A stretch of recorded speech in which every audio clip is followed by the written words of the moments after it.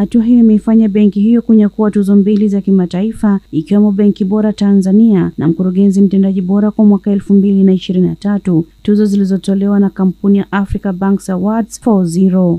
Amesema tuzo hizo zimetokana na jitihada na utendaji kazi wa benki hiyo katika kuimarisha uchumi wa Tanzania kwa kutoa suluhu za kidigitali na huduma bora na za kibunifu kwa wateja wake sambamba na matumizi ya teknolojia ya kisasa. Wetu wa benki NMB umekuja kutokana na juhudi kubwa sana ambazo zimefanywa na wafanyakazi katika kuhakikisha kama ni benki inayokuwa inatoa masuluhisho ambayo yanatokana na matatizo halisi kwa wateja wetu. Kwa hiyo kwa mwaka elfu mbili na ishirini na mbili tumejitofautisha, tumefanya mambo mengi sana kwa, kwa maana ya kutoa masuluhisho mengi na bidhaa nyingi ambazo zilikuwa zinakwenda kwa address moja kwa moja matatizo uh,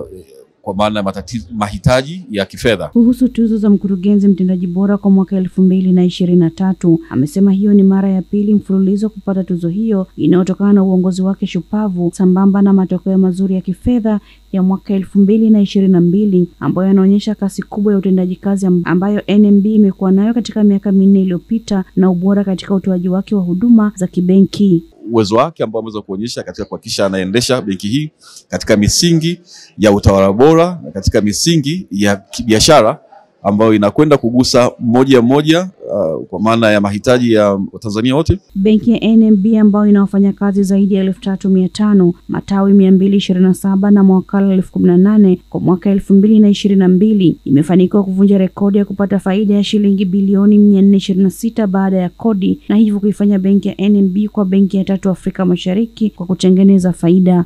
Angela Matayo, Star TV, Dar es Salaam.